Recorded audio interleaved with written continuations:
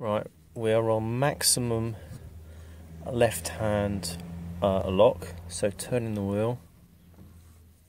The first revolution of the steering wheel is nice and smooth. The second revolution, it gets nice and smooth.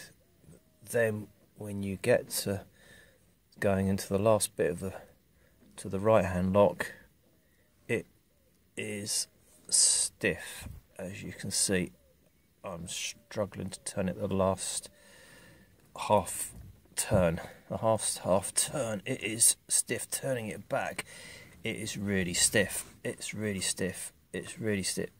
Now it's okay. Now it's now it's smooth.